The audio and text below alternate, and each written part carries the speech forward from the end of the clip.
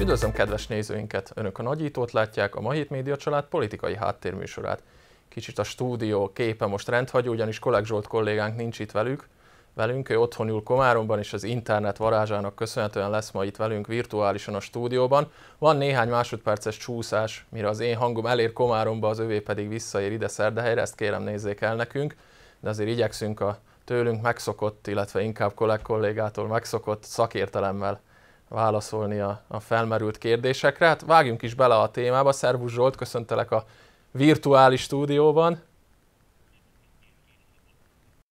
Szervusz Krisztián, én is üdvözlöm a kedves nézőket. Akkor keveset fogok kérdezni, te pedig majd sokat fogsz beszélni, hogy ezt a csúszást ezt minél kevésbé kelljen, kelljen elviselnünk. Hát ugye a Matovics kormány most már négy vagy öt napos, még mindig ha nem, nem is gyerek, hanem babacipőkben jár, ugye szombaton iktatták be, pénteken előtte egy nappal pedig a szlovák parlamentet. Hát valószínűleg nem volt még a rendszerváltás óta Szlovákiának olyan kormánya, ami ennyire kritikus időszakba kellett volna, hogy hozzáfogjon, nekilásson a munkának. Mit gondolsz az utóbbi négy-öt nap eseményei, kormányzati rendelkezésre, ugye túl vagyunk három-négy parlamenti ülésnapon, milyen jövőképet festenek, mit várhatunk a Matovics kormánytól a koronavírus okozta válság kezelése kapcsán, akár gazdasági, akár szociális, akár egészségügyi szempontból. Kérlek, tiéd a pálya. Emlékszel, Krisztián, amikor múlt héten még a stúdióban beszélgettünk, arról beszéltünk, hogy aggodalmak érzünk, hogyan lesz majd a jövő, hiszen egy frissen megalakuló kormány úgy veszi át a hatalmat, hogy nincs lehetősége 30 napos türelmi időre, ami minden, minden esetben ilyenkor, bocsánat, 100 napos türelmi időre, ami minden esetben ilyenkor elvárható. Viszont ez most egy rendkívüli helyzet, ami rendkívüli megoldásokat követel mindannyiunktól, így a kormánytól is. És azt kell mondanom, hogy az első intézkedések azok láthatóan egyfajta határozottságról tanúskodnak. Volt egy, egy egyetlen olyan pillanat, amikor, amikor aggodalom merülhetett föl, egy éjszakában nyúló kormányülés, akkor a válságstáb ülésezett, amit ugye frissen felállítottak, és nem sikerült még aznap este dőlőre jutni. Szerintem sokan úgy tértünk nyugovóra, hiszen beharangozták, hogy aznap még eredmények várhatók, kihirdetnek valamiféle újabb intézkedéseket, tehát úgy tértünk nyugovóra, hogy igazából nem tudtuk, hogy mit szeretne a kormány. Másnap délelőtt azonban ez tisztázódott, és hát van egyfajta válságkezelési elképzelése a Matorics kormánynak is, ami illeszkedik többé-kevésbé abba, abba a modellbe, amit Európa több országa már bevezetett, ugyanis párhuzamosan kell az egészségügyi válsághelyzetet kezelni, és megoldást kínálni a gazdasági gondokra. Ugyanis úgy tűnik, hogy ez a válság sokkal mélyebb lesz, mint a 2008-ban kezdődő, hiszen itt a keresleti oldalon fog megnyilvánulni a válság, ami, ami azzal jár, hogy ugye a lakossági fogyasztás fog drámaian visszaesni, hiszen sokan elvesztik a munkahelyüket, ennek érdekében kell meghozni azokat a szociális intézkedéseket, amelyekben már első lépéseket megtette a Matovics kabinet is, és hát Magyarországon is történtek intézkedések, bár láthatóan azért egy picit más a filozófiája a két kormánynak. Sokkal inkább a munkahelyek megőrzése, persze ez itt is szempont, az, ami az Orbán kormányt vezeti, mármint célt, hiszen az az ember, aki elveszíti a munkáját, bizonyára nem tud majd fogyasztani, és nem tudja a gazdaságot majd újra indítani, amikor amikor némi remény kínálkozik arra, hogy újra beindulhat a gazdaság. Természetesen azt is látni kell, hogy a kieső bevételeket valamilyen módon pótolni kell. Hát itt Szlovákiában egy ilyen lehetőség merült fel, hogy az ápolási díjakat e, továbbra is folyósítják, illetőleg többen fogják megkapni, ami a kieső bevételek pótlására egy, egy lehetőség. Ugyanis e, azt gondolom, hogy a következő időszak egy nagyon-nagyon kritikus lesz nem csak Szlovákia szempontjából, hanem Európa és tágabb értelemben a világ szempontjából is, hiszen bár a matematikusok és a járványügyi szakemberek igyekeznek különféle modellekben megjósolni a járvány végét, igazán felelősen ezt jelenleg senki nem tudja megmondani, hogy mikor fog véget érni. Tehát olyan forgatókönyvekkel érdemes dolgozni, amely több hónapra előre eh, próbálja a gazdaság egyre fokozódó gondjait kezelni, ez azonban rendkívül nehéz feladat. Én azt gondolom, hogy a következőkben rendkívül rugalmasnak kell lenni a kormányzatnak, így a frissen felállt Matolics kabinetnek is. A beszélgetés ilyen módja során szinte lehetetlen küldetés vágni, ugyanakkor néhány kérdés felmerült bennem, miközben itt, itt hallgattalak. Ugye az egyik az az lenne, ha jól emlékszem, kedden volt Matovicsnak egy szokásos reggeli sajtótájékoztatója, mert lehet, hogy még hétfőn volt, talán az új miniszterelnök még nem egészen szokott bele ebbe a szerepbe, hiszen még Pellegrini most függetlenül a fölmerült korrupciós ügyektől azért egész rátermett politikusként jelentkezett az ország előtt ezeken a válság sajtótájékoztatókon. Ha a kedves nézők is látták, ugye Matovics a papírjait rendezgetve, keresve a szavakat, keresve az adatokat, gyakorlatilag fölolvasott egy ilyen 30 labból álló papírkötekből információkat, ami hát nyilván most azért aggodalomra nem ad okot, ugyanakkor látszik, hogy Matovicsnak még mindenképp szoknia kell ezt a felelős államférfi szerepet. Ez Pellegrininek azt hiszem jobban állt. Természetesen nagyon nehéz ellenzékből hirtelen kormánypárti szerepben jól helytállni, és ezt látjuk, ezt a feszültséget sokszor, vagy ezeket az ellenhondásokat látjuk Matovicson. Viszont az, amiről már korábban is több alkalommal beszéltünk, hogy nem feltétlenül csak a kormányfő személye lesz döntő egy-egy kormányzati teljesítményt illetően, hanem az, hogy milyen szakembereket választ maga mellé, és ebből a szempontból a válságstáb, az állandó válságstáb felállítása egy jó üzenet, hiszen megbízható, arra érdemes szakemberek kaptak itt helyet, és az ő véleményükre, hogyha hallgat a kabinet, akkor véletlenül nagy hibákat nem fog elkövetni a válságkezelésnél. Tehát ilyen módon ki lehet váltani egy-egy politikus szerepét.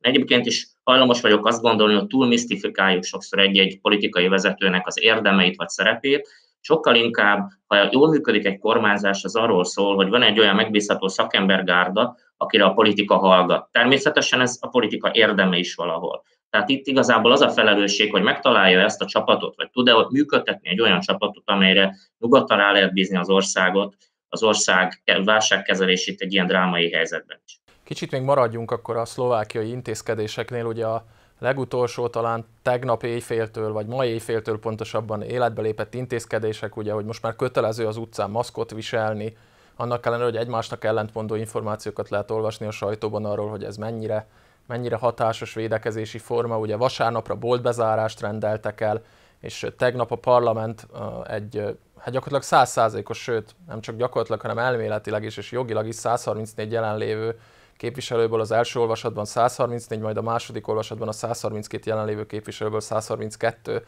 megszavazta ezt a szociális csomagot, amely éppen az általad említett, az előbb emlegetett ápolási díjnak a kiterjesztéséről is szólt, ez is szerepel benne, bár, bár még teljesen azért nincs körvonalazva, hogy pontosan hogyan és miként segít majd az állam. De hogyha egy halmazba, egy kupacba vesszük ezeket az intézkedéseket, mit gondolsz, jó irányba halad a védekezés? Válasszuk ketté a gazdasági részt, és válasszuk ketté a konkrét egészségvédelmi intézkedéseket. Ugye, ahogy magad is mondtad, a szakértők vitatkoznak abban a tekintetben, hogy vajon a maszk használata mennyire, mennyire segít. Nyilvánvaló, hogy két részre lehet ezt is bontani. Van egyfajta egy pszichológiai hatás, sok ember számára ez egy biztonságérzetet ad. Ugye az teljesen elképzelhetetlen, hogy úgy éljünk, hogy be vagyunk zárva egy adott térbe, ez már csak fizikai szükségleteinket tekintve is lehetetlen, hiszen be kell vásárolni. Ilyen módon a vasárnapi boltzár az egy további megszorító intézkedés, de valahol logikus is, hiszen azt az eladó személyzetet, meg egyáltalán a boltokat, működtetőket, vagy az árufeltöltőket is egyfajta lélegzetvételmi szünethez juttatja, illetőleg lehetőséget ad arra, hogy ezeket az intézményeket fertőtlenítsék ez idő alatt. És ugye van még egy ilyen intézkedés, hogy testhőmérsékletet fognak majd mérni a forgalmasabb intézmények bejáratánál, bár ennek a megvalósítása azért had némi kérdőjelet, hogy ugyan ki fogja ezt elvégezni, milyen műszerekkel, milyen eszközökkel. Erre ma volt egy nagyon praktikus válasz a, a frissen kinevezett tárcavezetőnek, egészségügyi tárcavezetőnek, hogy minden háztartásban gyakorlatilag található lázmérő, és akkor nyilván az egészségügyi, nem, nem kell egészségügyi alkalmazott ahhoz, hogy ezt elvégezze, hanem akár a bolt személyzet is ezt meg tudja tenni. Én ezt nem érzem azért annyira megnyugtató intézkedésnek, meg perdöntő intézkedésnek. A vasárnapi boltzárt azt egy sokkal konkrétabb üzenetnek gondolom. Visszatérve még egy picit a maszk viseléséhez, én azt gondolom, hogy ha ennek kialakul egy kultúrája, ez mindenképpen segíti a járványhelyzet megoldását, hiszen ha nem is jelent százszázalékos védelmet, ezt mindenki hangsúlyozza, arra azért jó, hogy, hogy ha magunk betegek vagyunk, akkor, akkor esetleg a környezetünket megvédjük, hiszen a maszk felfogja a cseppfertőzéssel terjedő vírust. A gazdasági intézkedésekre kitérve, ugye a legtöbb európai ország egészen elképesztő pénzeket fordít most a gazdaság élénkítésére, a munkahelyek megmentésére. Tulajdonképpen olyan híreket is hallani, hogy bizonyos százalékban átvállalja az állam a kieső fizetéseket. Tehát ugye most a cégek nincsenek olyan helyzetben, vagy nem lesznek átmenetileg olyan helyzetben, hogy az alkalmazottaiknak fizessenek bért, ezt az állam, ezt a bértömeget, vagy legalábbis annak egy részét 80%-tól 50%-ig terjed átvállalja. Ilyen irányba lehet elmozdulni Szlovákiában is, mint ahogy előbb mondtam is, Magyarországon egy picit más a filozófia, ott arra, arra törekednek, hogy minél több munkahelyet megőrizzenek. Ez, ez egy fenntarthatóbb modell abból a szempontból, hogy nem terheli túl, végzetesen túl az állami költségvetést, de lehetőséget ad arra, hogy amikor majd a gazdaság újra beindul, akkor hirtelen felpöröghessen. Ugyanis cseppet sem mindegy, hogy hogy fog kinézni ez a gazdasági visszaesés. Ugye, hogyha egy grafikont nézünk, akkor egy U alakú visszaesés az azt jelenti, hogy az a lefelé tartó hullám az sokkal hosszabb, mint egy V alakúnál. Magyarországon abban reménykednek, és a kormányzati lépések is erre ösztönzik a gazdaságot, hogy minél gyorsabban kilőhessen a válságperiódus után a gazdaság. Szlovákiában láthatólag inkább arra rendezkednek be, hogy ez egy elhúzódó folyamat lesz, ahol a lehetőség szerint a társadalomnak a veszteségeit minél inkább kezeljék, és a legtöbb európai ország is ezen az úton jár. Valószínűleg tegyük hozzá rögtön ez a realistább felfogása a válságkezelésnek egyenlőre úgy tűnik legalábbis, hogy egy elhúzódó válságperiódussal számolunk. Az előbb már úgy mondtam, hogy felelősen nem tudjuk megmondani, hogy meddig húzódhat ez, de hogy nem hetekről van szó, az egészen biztos. És tegyük hozzá, mindannyiunk érdeke az, hogy, hogy amit egészségünk szempontjából érdekünk, hogy ez a válság lehetőség szerint nyár végén tetőzzön, mármint a járvány nyár végén tetőzzön, ugyanis ilyen módon sikerül úgy az esetszámot, a megbetegedések számát olyan szinten tartani, hogy ne omoljon össze a szlovákiai egészségügyi ellátórendszer. Ugye bizonyára nézőink is a szlovák intézkedések mellett a magyarországi intézkedéseket követik leginkább figyelemmel. Éppen az adás előtt néhány órával fejeződött be a, kor- a kormányinfo, illetve az operatív törzsnek a sajtótájékoztatója szintén online térben Budapesten. Hát az általad elmondottakra reflektálva, ugye Gulyás Gergely kancellária miniszter arról beszélt, hogy százezres munkanélküliséggel számolnak. Kérdés már csak annyi, hogy hány százezres lesz ez a munkanélküliség, illetve azzal, hogy az, azzal kalkulálnak, hogy ugyan rengeteg ember elveszheti a munkáját, több százezer ember, ezt maga Gulyás is elismerte, de úgy gondolják, hogy 3-4-5 hónapon belül ezeknek az állásoknak a nagy része visszatérhet a, a, a, a hétköznap, tehát a munkavállalók nagy része visszatérhet, nem is ugyanarra a munkahelyre, de a, a fellendülő gazdaság miatt ezekre az új munkahelyekre. Én azt gondolom, hogy ebben az időszakban is lehetséges bizonyos értelemben átállítani a termelést. Erre lehet példát látni, hogy az autógyárak adott esetben lélegeztetőgépet gyártanak. Tudom, hogy ez most egy kicsit ilyen hajánál fogva erőrángatott példának tűnhet sokak számára, de ez egy realitás. Át kell állítani a termelő kapacitásokat olyanra, ahol kereslet van. Ugyanis, még egyszer hangsúlyozom, itt egy tartós keresleti válsággal kell számolnunk. Adott esetben a gyógyszeripar, ami Magyarországon egy kulcságazatnak tekinthető, akár még föl is futhat a válság idején, logikus fejleménynek tűnik, hogy a kereslet ezen a, ezen a szegmensen megnövekszik ebben az időben is. Azonban van itt egy fontos szempont, amikor arról beszélünk, hogy, hogy megőrizzük a munkahelyeket, az természetesen már egy következő időszakra vetíti előre a, a gazdaságnak a kilátásait. Valóban úgy számol a magyar gazdasági kormányzat, hogy minél, minél rövidebb időre lehessen visszaszűkíteni ezt a válságperiódust, hogy utána egy gyorsabb felívelő szakasz induljon meg. Ha valaki követte Donald Trump amerikai elnök kommunikációját, akkor pontosan ezt a filozófiát hallhatta ki itt is.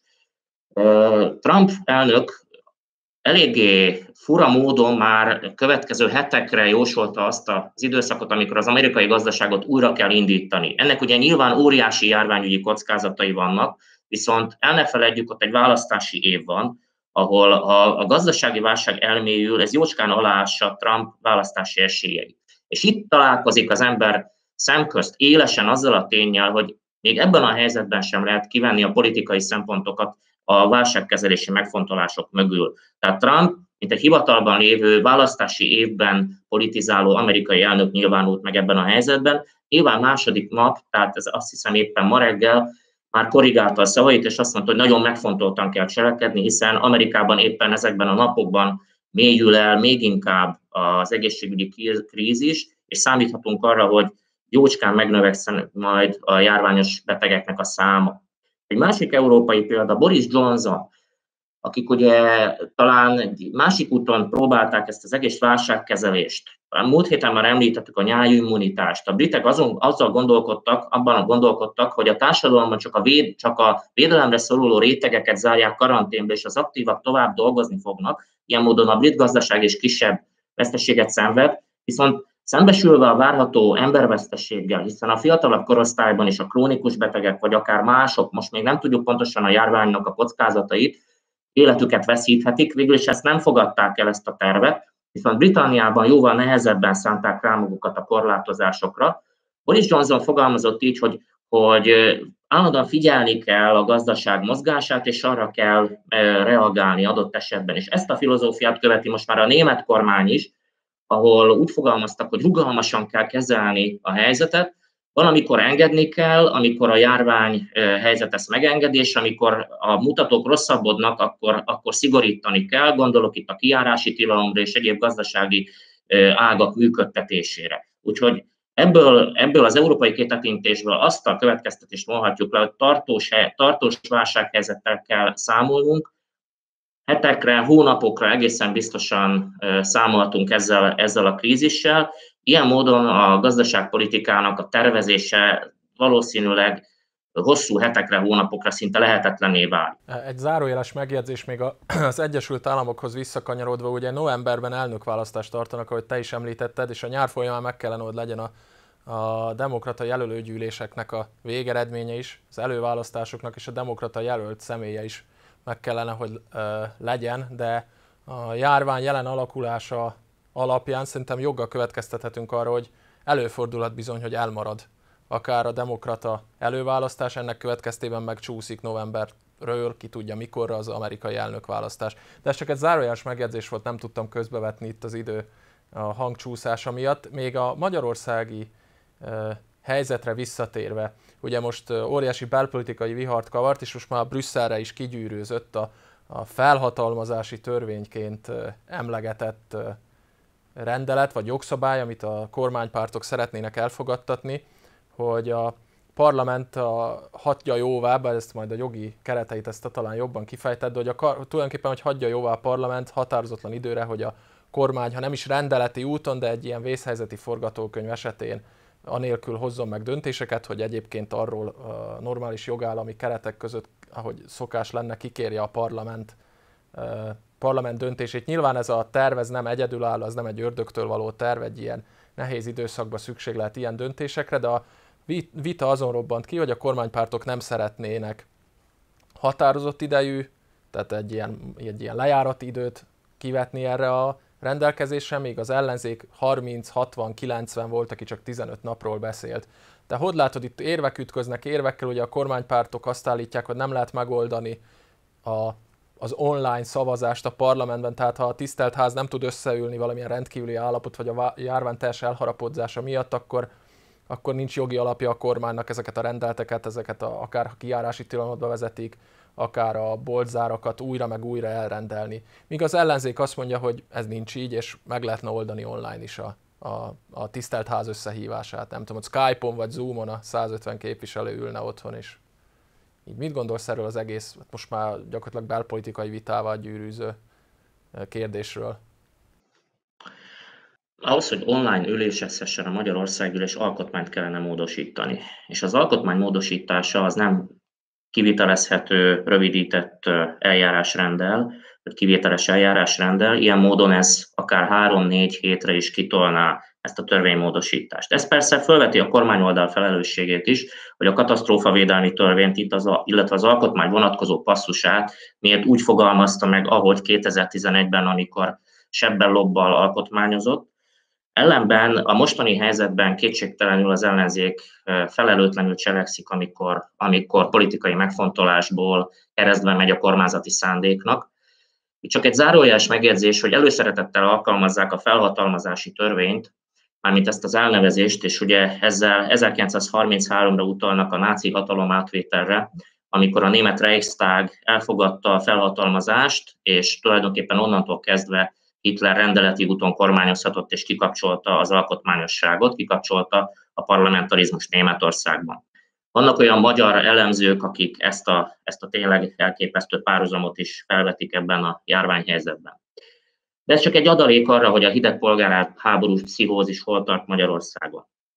Ami szerintem ennél fontosabb, az az, hogy azzal, hogy a négyötödös többséget nem kapta meg a kormányzati előterjesztés, tehát ugye gyorsított eljárásban lehessen meghosszabbítani a vészhelyzeti időszakot, ezzel olyan intézkedések holnap lejárnak, március 27-én lejárnak, hiszen 15 napra lehetett a kormánynak ezt a döntést meghozni, és éppen március 12-én hozta meg, tehát éppen holnap lejárt, például az egyetemek akár holnap már újra kinyithatnának, ha csak az intézmények saját hatáskörben ezt nem oldják meg, és továbbra is oktatási szünetet rendelnek el. Ez csak egy példa arra, hogy valóban ez egy felelőtlen lépés volt az ellenzék részéről, és annak ékes példája, hogy mennyire kompromisszumképtelen a magyar politikai elit, adott esetben még egy ilyen nemzeti válsághelyzetben is képtelen valamiféle együttműködést, vagy annak látszatát legalább meg. Tehát ö, tulajdonképpen a Ráadásul, ha jól emlékszem, akkor kedden újra szavazhat a, a magyar parlament erről a, most már akkor ne nevezünk felhatalmazási törvénynek, erről a, a, az intézkedésről, és akkor már kétharmados többséggel, tehát a kormánypártok kétharmados többség elég lesz ahhoz, hogy mégiscsak keresztül vigyék a, az akaratukat a parlamenten. Ez így van. Viszont ne felejtsük el, hogy ekkor is március 27-től jó néhány nap el fog telni jövő hét kedjéig, amíg a, újra lehet szabályozni a vészhelyzetet Magyarországon. Zsolt, hát köszönöm szépen ezt a igen rendhagyó beszélgetést a nagyító történelmében. Először egy ilyen virtuális formában oldottuk meg. Hát tartok tőle, hogy, hogy ha nem is tartósan, de jó néhány hétre így kell majd berendezkednünk, ugyanis egyelőre nem látjuk a végét, de hát maradjunk optimisták, legyünk itt a jövő héten is, és kérem a nézőket is, hogy önök is legyenek itt a jövő héten is, és most néhány másodperc még az elköszönés előtt hagynám, hogy a kollégám is a csúszás miatt el tudjon köszönni önöktől. Minden jót kívánunk, jövünk a jövő héten is a viszontlátásra.